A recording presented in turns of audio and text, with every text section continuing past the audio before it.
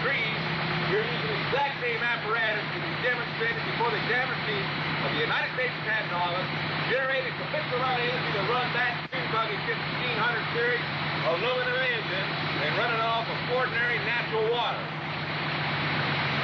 We can be able to control the acceleration of control by simply varying the amount of voltage being applied to the water fuel cell. I want you to notice how easy it was easy to run, how we able to maintain it. It's running extremely smooth, ultra smooth. We can vary the acceleration any level we so desire. My joke. oh, praise the Lord and pass the examination.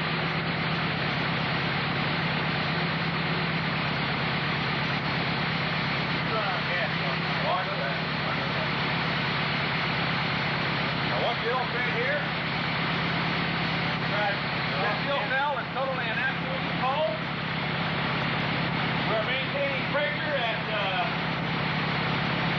13 and three quarter pound pressure.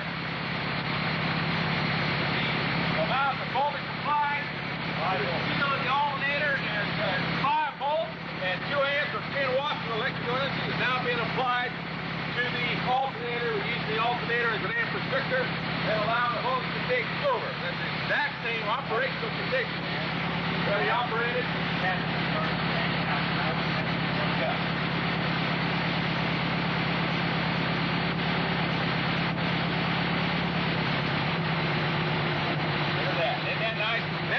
Done is we have adjusted the burn rate of hydrogen so we a fossil fuel and doing it in such a way that we can lower the temperature of the burning of the hydrogen gas equal to or less than that of gasoline. So we now can take the fuel cell and retrofit it directly to any form of existing automobile, automobile engine without any problem at all.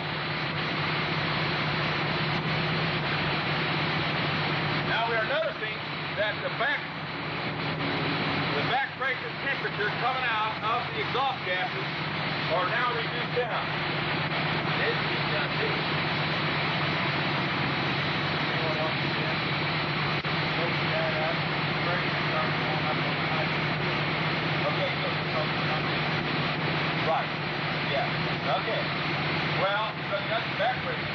But hey, that's that's in it all too.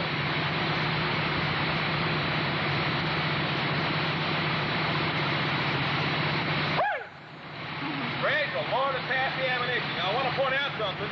We are clocked at 4 minutes, 4 seconds into the running of the engine. There's no way in the world that that engine can be running off of gasoline because, ladies and gentlemen, the gas tank is right here on the ground.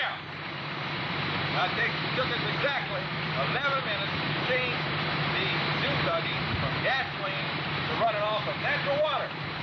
And is exactly the same apparatus we pointed out and we demonstrated operating a high temperature flame well over 2,500 degrees.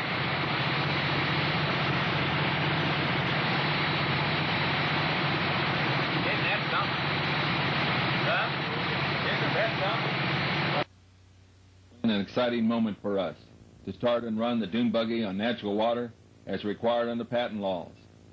But much work still remains if we are to translate the water fuel cell technology into viable, usable energy systems, going from transportation to farm to industry and even perhaps mega power utility applications.